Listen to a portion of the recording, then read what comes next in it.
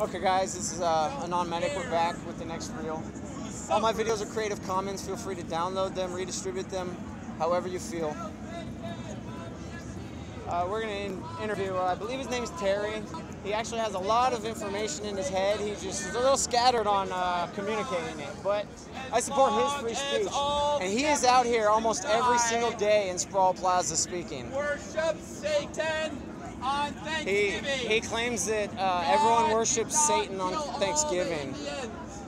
Satan killed all the Indians so we could live here. When you celebrate Thanksgiving by burning oil, you are worshiping Satan. If you love Satan, you love money, and you want more things for yourself.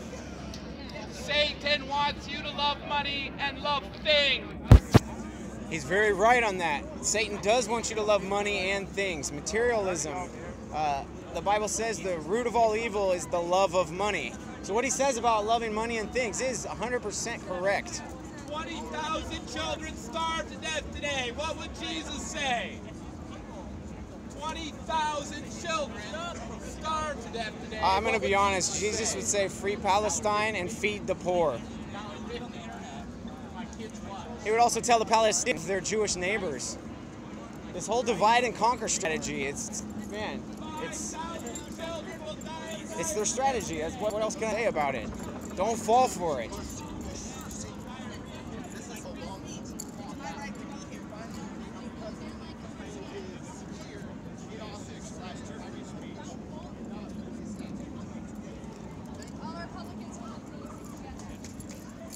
Got this uh, girl. She's been challenged on a few things. Uh,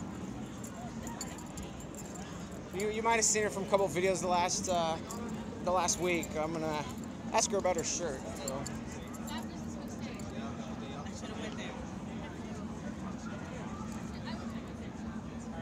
Can I can I ask you something? Are you a Satanist? No. Oh, then what's with the Satan It's shirt? not- okay, it's not really like Satanism, but uh, it's But that's his band. symbol. Okay, but it's kind of a symbol that's been co-opted throughout time. It actually represents a great deal of people who um, were have have rituals that are rooted in um, what people later on called witchcraft. It's actually rooted in Yoruba traditions that come from Africa. Um, you were talking about people that became Santeria and that became um, voodoo and hoodoo. Um, these symbols actually have to do with paganism and it have to do with like um, not worshiping but like respecting the earth and doing rituals on that. Um, the people, the singer on this shirt. I, I just want to say, funny you speak of paganism because I don't know if anyone here knows, but the swastika is a pagan symbol. Originally, It's found in the Baalbek temple. Yeah, Uh, it it's in the the monkey temple in Indonesia. And they co-opted it and they made it represent something else. So even though that might be So- the original okay, that's like a peace sign. This is the problem. The peace sign that we see that we identify as peace. And the, that- the that Pepe symbol is now a race symbol where it originally wasn't. Okay. I, I see irony in peace symbol that people identify as the Vietnam War that can clear disarmament.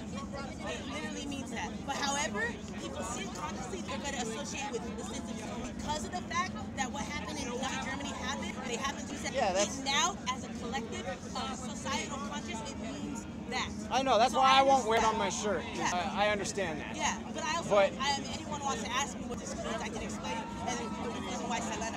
If they want to dictate me as a Satanist, that's also none of my Well, business. Well King, so- King Solomon uh, used those symbols to summon demons, and it actually Yeah, drove him mad yeah. and drove him to suicide. Jewish, yeah, So it, it's called Satan's sigil magic or Satan's seal magic. No, In fact, the, the Google Play logo is, is a part of his. Talk anymore. Uh, you know, as a recognized Google developer, you know, I had to say that the Google Play logo is the sigil of Satan. The Bible condemns Arsenal 5 and Acts chapter 7. It uh, condemns the Hebrews who, who took up the banner of their star god, which it calls Remphan, Molech. Uh, I don't want to draw the